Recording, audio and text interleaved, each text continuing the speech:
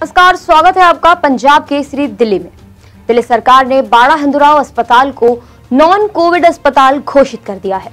यानी अब यहाँ किसी कोरोना मरीज़ का इलाज नहीं होगा। दिल्ली सरकार ने कहा कि उत्तरी दिल्ली नगर निगम के कमिश्नर ने निवेदन किया था कि बाड़ा हिंदुराव अस्पताल को कोविड अस्पताल में नॉन कोविड अस्पताल घोषित किया जाए। दिल्ली सरकार ने इस निवेदन का परीक्षण किया और पाया कि इस अस्पताल में पहले ही मरीज़ कम थे।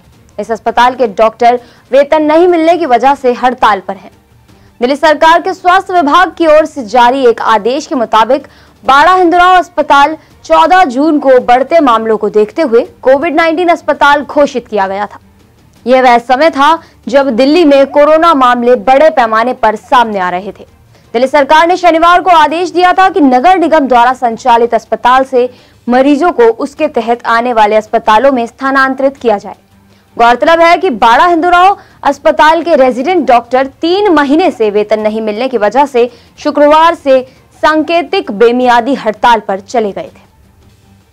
पहले दिल्ली सरकार ने इस अस्पताल के सभी मरीजों को अपने अस्पतालों में शिफ्ट किया।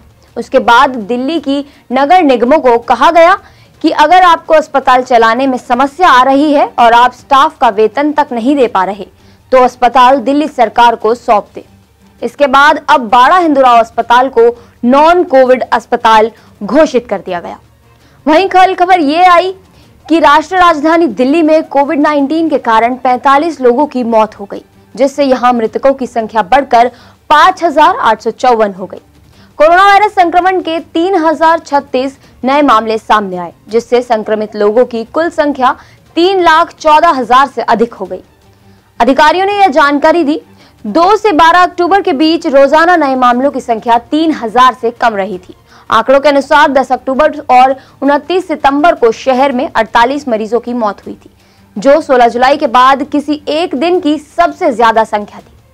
16 जुलाई को दिल्ली में अट्ठावन मरीजों की मौत हुई थी। ऐसी तमाम बड़ी खबरों से जुड़े रहने के लिए बने रहिए पंजाब केसरी दिल्ली के साथ।